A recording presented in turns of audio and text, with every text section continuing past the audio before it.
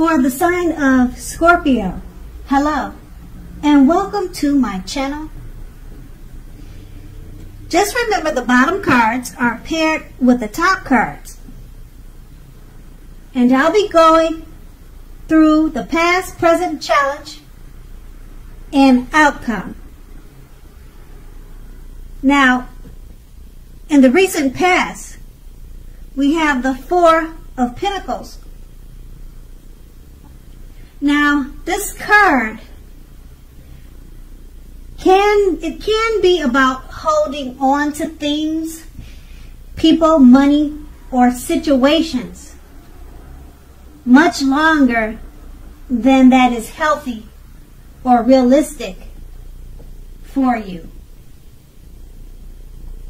So when this card appears in a reading, it's a definite sign that you must look carefully at what you are holding on to, clinging to, and whether others are clinging to you in a in an unhealthy way. Now, the Four of Pentacles, it also can point to anxiety and fear about money and or clinging on to whatever that is that makes you feel secure. So, in the past, the, in the past, the key was to try to realize that being anxious and holding on too tight does not bring security. And that's what you tried to realize in the past. And we have this card paired with the devil card. So, with a devil card, first thing, well, the first thing first, you didn't let other people tell you that your options were limited. If you came to that conclusion, you made sure that you were coming to it on your own. So, regardless, it would have been a crucial time to remember that you can or you could have freed yourself from whatever restrictions were holding you back at that time or at any time you ch- had chosen to do so. You could have or you may have had the feeling that you were not in control of your life. Sometimes this happens as a result of our own actions, but more often it could have been as a byproduct of no action. So you made sure to take action, or you know that you had needed to take action in the past to take whatever steps you could have to give yourself the feeling, however big or small, of being in control even if it was merely making a choice on what you were going to eat for dinner. You also knew that small baby steps were important at that time. And that was in the past. Now we move on to the present. We have the hangman. Now the hangman it basically shows that you're at crossroads. Now, it could be one with only two options in and out, up or down, yes or no, something like that, okay? You may find yourself very much wanting to do something, but having no idea what it is or how to do it. So, make sure that if that happens, that's a clear sign that you should stop, relax, and look at ways that you might need to let go of attempts to control life's situations, people, and things. Because it's possible that there is an outdated attitude or wish that you need to let go of. Just remember that any sacrifice that you make will open up your life to something even more positive than what you are letting go of. So all in all, this should be a thoughtful, reflective time, particularly if you are willing to look at it or to look at if or how you might best serve your own interests by being willing to change.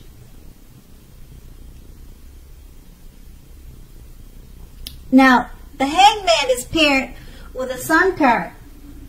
Now, the sun card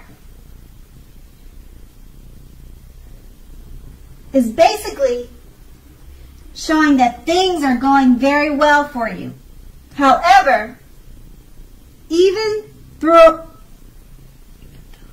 even though finances are likely to be in good shape when this card appears in a reading, now that does not mean that you should lose focus on what is truly important in life and money is not very high on that list.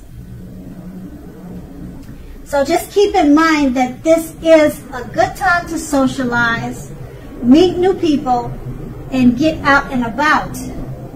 If you're looking for a new job, this card can mean that it's right around the corner for you. So with these two cards paired together,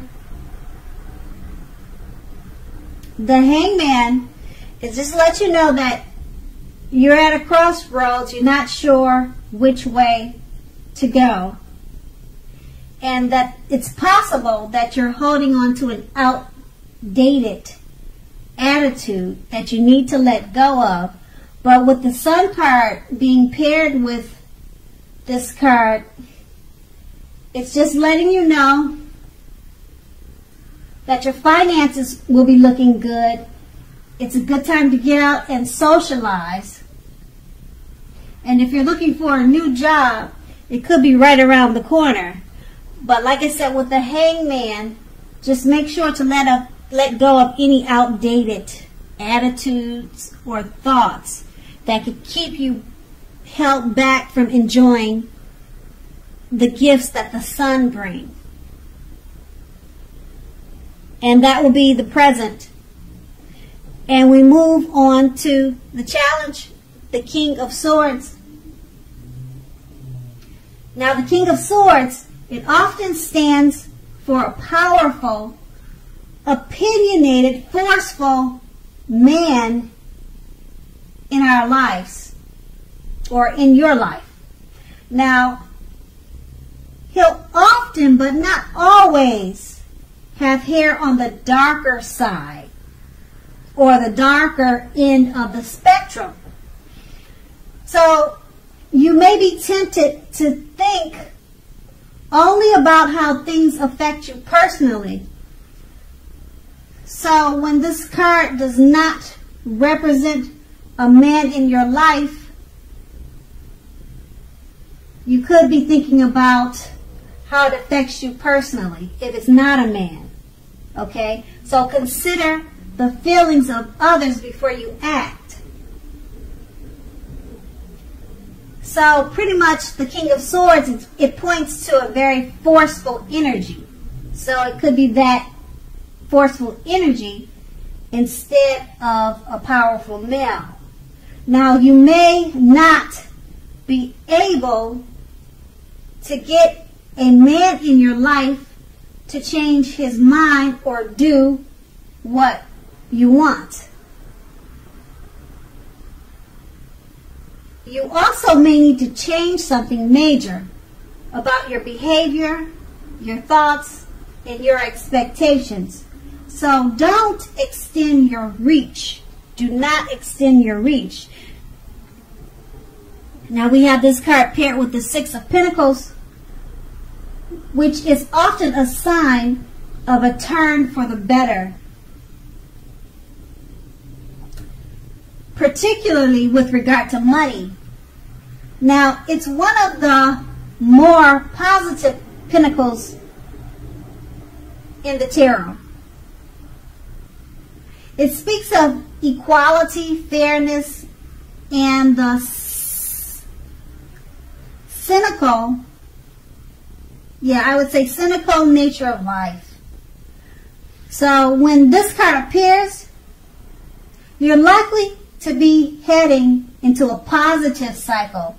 Now the Six of Pentacles is often a card about generosity, meaning that you are either about to be the beneficiary or the giver of something of value. So make sure to share what you have as there is always someone who needs it. So with these two cards paired together, it's just letting you know that a powerful, forceful male figure could be in your life or about to enter your life. And you may not be able to get this type of person to change his or her, to change his mind. So you may, you may need to work on your behavior, your attitude, if you decide to keep this person in your life because it's paired with the Six of Pentacles. Now, the Six of Pentacles, as I said, it's a great time for money. So, this person that's coming into your life, or this powerful or uh, opinionated, forceful male figure, it could have a lot to do with money. Uh, could be a male figure giving you money as a beneficiary or giving you something of value. But these two paired together, they're related to this powerful, forceful male figure, and it's Six of Pentacles is letting you know it's all about money. Money in a great way, being the beneficiary. And that's going to be your challenge. And then we move on to the outcome the Page of Pentacles. Now this card can be about boredom. Boredom in some ways. You may be tempted to say or do things to shake things and people up just a little for excitement. So rethink this impulse and find a better use of your energy. Excitement it can be created. The Page of Pentacles is it's a great energy to support you when you have somewhat tedious work to get accomplished. This uh, card, it gives you focus, backbone, and the ability to stick with a task that's not necessary, glamorous, or fun. And then this card is paired with a Knight of Cups, which is most, if not all of the cups in the tarot, is an optimistic very good card to see in a reading. It, off, it often comes with messages. Usually, these are the kind of good news messages that we all would love to receive. So, in general, this card tells you that things are going to be going very well. And you are likely to be feeling charged up and ready for action. Now, this card often means that good news with matters of the heart, they are likely to be headed your way soon. Now, these two cards paired together, the Page of Pentacles is letting you know you may feel a little bored at this time and you want to shake things up, cause some trouble, but think before you do that because there's better ways to use your time. Okay? And it's paired with the Knight of Cups with messages coming your way. It could be from this forceful powerful man that we saw in the King of Swords. And that was a challenge for you. So it may be a challenge dealing with this person. But the outcome is the Knight of Cups. So maybe this forceful male figure is bringing you great news and happy messages because the Knight of Cups is your outcome, and the messages is always news that we want to hear. The Knight of Cups is an optimistic card, so just remember that. So that will be the outcome. So Scorpio, I hope this resonate with you. As you know, general readings, they don't always resonate with everyone. Then again, if you like this reading, please like, subscribe, leave a comment if that's what you like to do. Thank you so much for watching and have a great day. And have a great day. And have